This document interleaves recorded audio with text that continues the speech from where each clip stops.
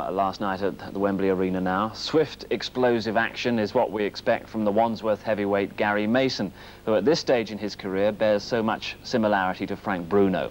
Mason's had 13 consecutive wins, and his opponent last night, tough one, the American Donnie Long. We join the fight right at the start. Second round.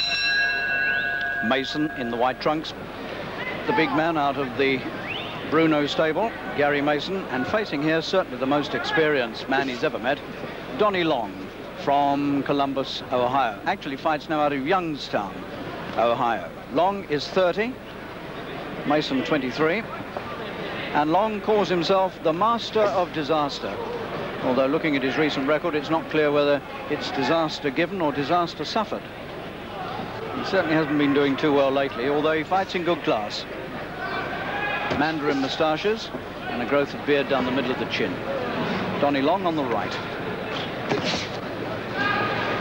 If I tell you that his last opponent was Renaldo Snipes, who not all that long ago fought for the World Heavyweight Championship, you'll get some idea of the class he fights in. So Mason's got his problems here.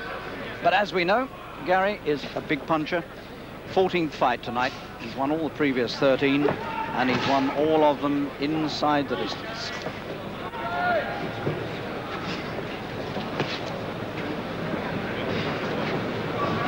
Mason in the white trunks. And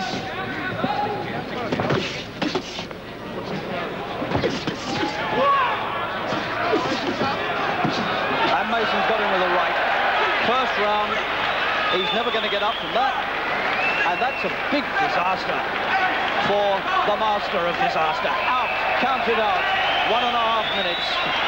Round one, Donnie Long having to be hoisted from the floor by Dennie Mancini and Larry O'Connell, the referee.